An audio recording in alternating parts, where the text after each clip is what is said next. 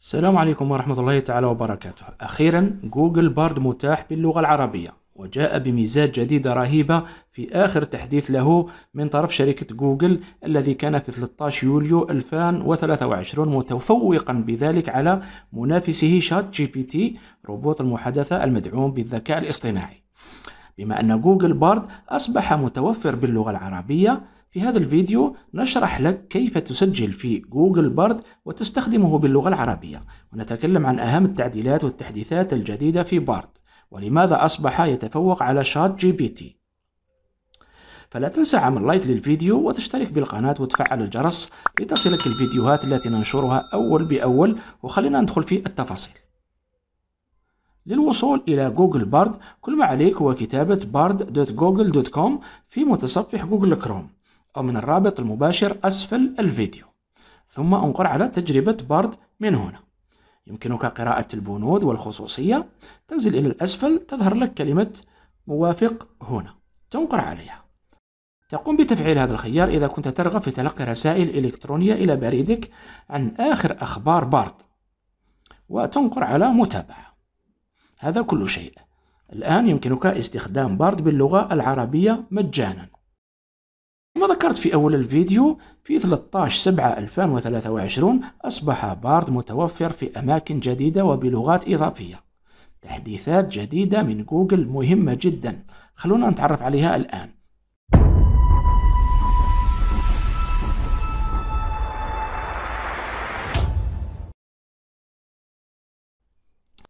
من قبل كان بارد متاح باللغات الإنجليزية واليابانية والكورية فقط.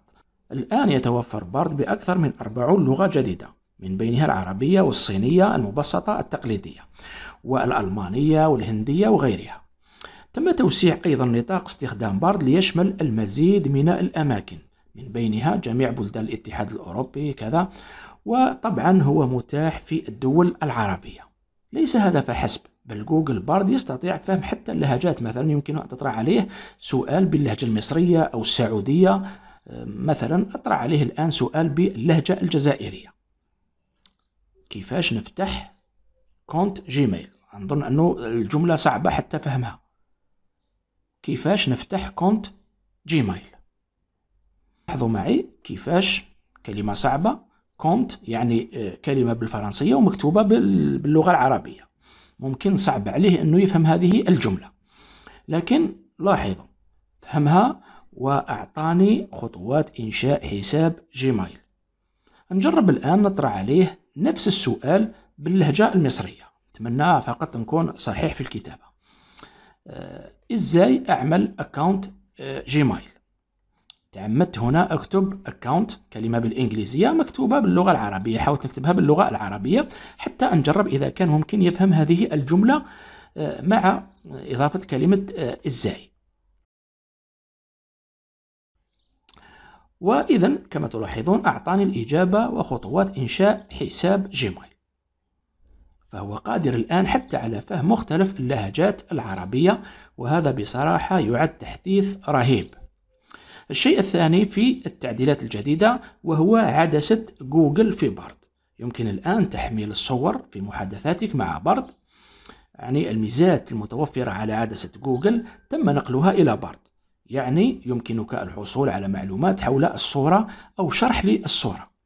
ولكن متوفر باللغة الإنجليزية فقط لحد الآن. حتى في النسخة العربية لبرد غير متوفر إمكانية إضافة صورة كما تلاحظ هنا. لكن في النسخة الإنجليزية يمكن رفع صورة من هنا من علامة زائد هذه.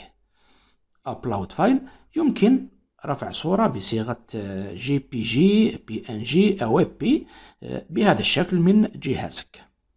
باللغة العربية لا يفهم. إذا يجب أن يكون السؤال باللغة الإنجليزية. اكتب له describe the image. يعني أقول له أعطيني وصف لهذه الصورة. الآن راح يكتب لي وصف بالذكاء الاصطناعي. يقوم بتحليل الصورة. هنا قام بتحليل هذه الصورة واكتشف أنها دراجة وأعطاني وصف دقيق ومفصل حتى أنه اكتشف العلامة التجارية الخاصة بها. قال دراجة وردية آه، إطارات بيضاء تستخدم الصورة لأغراض تسويقية وفعلا هذه الصورة حملتها من متجر. كما تلاحظون هو اكتشف كل شيء عن آه، أو حول هذه الصورة ويمكن الحصول على تحليلات أكثر. التحديث الثالث تعديل ردود بارد يعني إذا كنت تريد أن تحصل على استجابة أخرى بطريقة مختلفة توفر جوجل بارد خمس خيارات جديدة لمساعدتك في تعديل الردود. فقط تنقر هنا من هذه الأيقونة Modify Response ثم تختار أقصر طويل أبسط أكثر راحة أكثر احترافية وسوف تحصل على نص مختلف عن الأول أو يكون بصياغة مختلفة. يعرض لك كذلك برد عملية البحث ذات الصلة على محرك البحث جوجل. رابعا مشاركة محادثات Bard مع الآخرين. يمكنك عمل share أو export للمحادثات الخاصة بك من هذه العلامة التي تظهر أسفل النص. يمكنك عمل generate more إذا لم تكن مقتنع بالإجابة هذه يعمل لك نص بصياغة أخرى. يمكن التصدير إلى مستندات جوجل أو إنشاء مسودة في Gmail أو من هنا تأخذ النص copy بالكامل. خامسا بإمكان بارد قراءة الردود بصوت مرتفع. بإمكان بارد الآن تحويل النص إلى كلام بأكثر من 40 لغة يعني كل اللغات. تنقر فقط هنا وتبدأ بالإستماع. Sure, here's a more professional description of the image. سادسا سلاسل المحادثات المثبتة والآخرة. المحادثات السابقة التي أجريتها مع برد يتم الاحتفاظ بها ويمكنك العودة إليها. ومواصلة المحادثة من حيث توقفت. ويمكن إعادة التسمية أو التثبيت أو حذف المحادثة نهائيا. هذه كانت أهم التحديثات الجديدة الرائعة. أنا أقول أنه يتفوق على ChatGPT لأنه يعطيك إجابات حديثة ودقيقة وهو مرتبط مع الإنترنت. أما ChatGPT فلا يمكنه الإجابة عن أحداث بعد عام 2021 وهو غير مرتبط بالإنترنت فقط يجيب حسب البيانات المخزنة لديه.